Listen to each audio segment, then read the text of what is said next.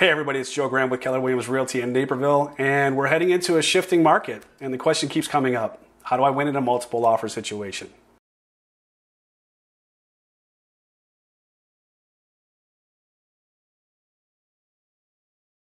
In buyer's markets, the winning offer in a multiple offer situation is often less than listing price, as opposed to in a seller's market when it's almost guaranteed to be over list price.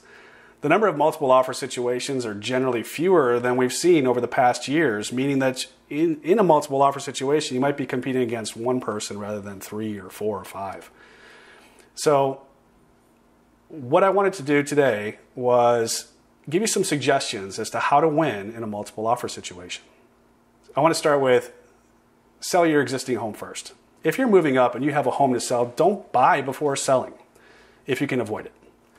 So if you're a first-time home buyer, you may already have an advantage over an existing home buyer who has to sell their home in order to buy the next home, right? So if one offer on a home in a multiple offer situation contains a contingency that's upon them selling their home and another one doesn't have that, you're at an immediate disadvantage. So search for a temporary living situation where you can live for a few months in order to be in your best position to win. Next, I call it play fair don't lowball the seller on their initial price of, of your offer. Okay, so make an assumption that your agent is going to be doing their homework first, right? And that you're not going to be overpaying for the home. So if you find the seller is asking a fair price, you're guaranteeing to start off the negotiations on the wrong foot by lowballing at your initial offer. And what's going to happen eight out of 10 times is that you're going to end up paying more for that home than you would have if you would have just made a reasonable offer up front. Nobody likes to feel like they've been offended in their own home, right? Next is find out what's important to the seller. Ask your agent what the seller's hot buttons are in the transaction and what the seller's really looking for. So we're going to circle back around to this, but oftentimes it's going to come down to something called the highest and best offer.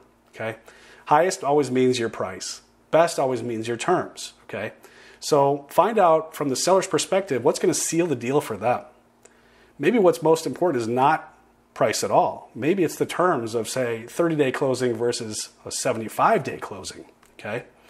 So, whatever the case is, you never know until you ask, right? So, just make sure that you always find out what's most important to the seller. Next is something we call share the love.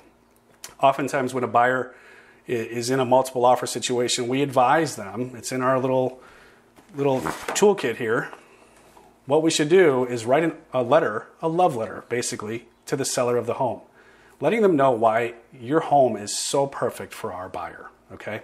And so we have our buyers oftentimes take a family photo or take one of the family photos that they've had before with the dog and, and smiles across the board and send it in a letter form with our offer to the seller.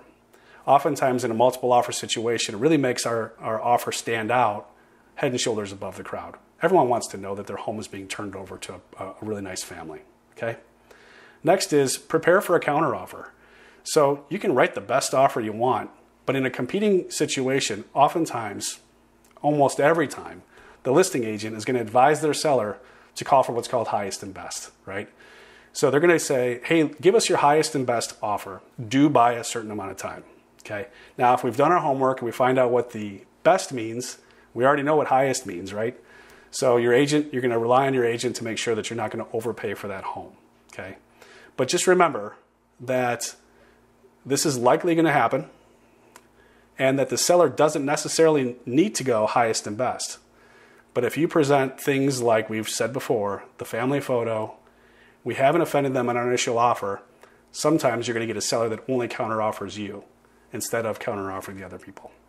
I hope this was helpful.